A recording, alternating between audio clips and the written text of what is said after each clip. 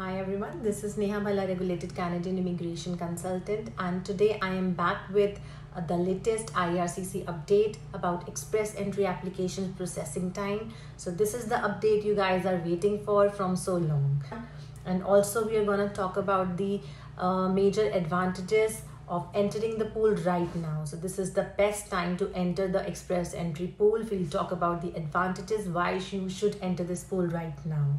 And also in this video, uh, I'm going to tell you about a free assessment tool which our company is offering to you. So prior to the pandemic, the Canadian government aimed that it should uh, process all the express entry applications within six months. But what happened was that due to the pandemic situation, the applicants who have applied for express entry they have to wait much longer than the earlier stipulated time of six months so in fact even the uh, non-canadian experience class applicants they have waited for as long as 20 months for ircc to give a decision on their applications.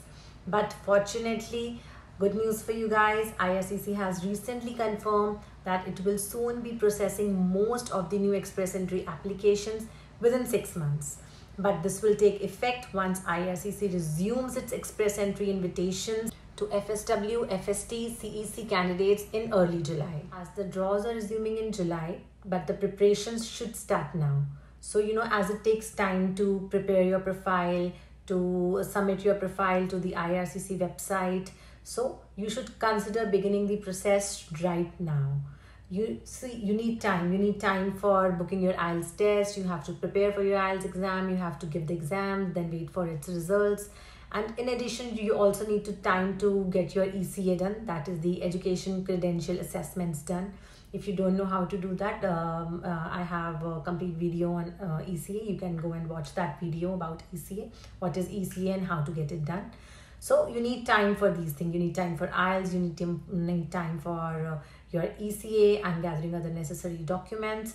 So it's a time consuming process. So please consider preparing your profiles, preparing everything right now. Now talking about the major advantages if you enter the express entry pool before July. So that is before the draws resumes. So talking about those advantages, the first major advantage is that uh, even though FSW draws are resuming in July, but IRCC continues to hold bi-weekly uh, express entry draws to invite the PNP candidates. So if you are in the pool, you get a chance to be invited by a province or any territory.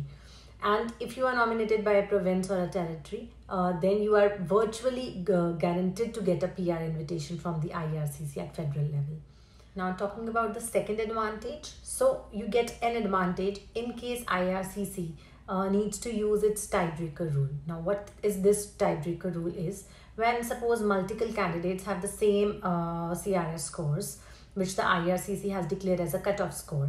So suppose like uh, 500 persons, they all have uh, 480 scores, but IRCC needs 300 from that. So uh, how it will choose? So it will declare a tiebreaker rule that uh, it will give preference to those candidates who have entered the pool, who have uploaded their profile at an earlier date.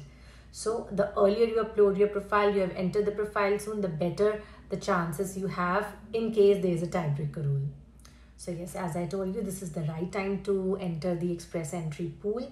Uh, so our company is providing a free assessment tool to you guys. So I have pasted a, a link of the free assessment, free eligibility assessment form in the description. You can go to our website you can press that link and you can see that for assessment form. So you can fill that form and uh, submit that form to us. So you can expect a response from us in 7 to 8 days. And uh, in uh, with that uh, free eligibility tool we'll tell you uh, on the basis of your the of the details you have provided that whether you are eligible to apply for express entry or not.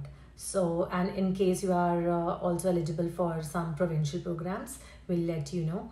And uh, then if you want you can retain as uh, full representation services and uh, apply your express entry profile with us.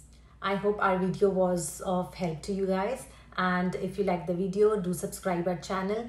And also if you want to stay updated about ircc updates and any new news and policies related to canadian immigration don't forget to subscribe our channel And also, if you like the video, do share it with your friends and relatives. And don't forget to fill the assessment form for your eligibility.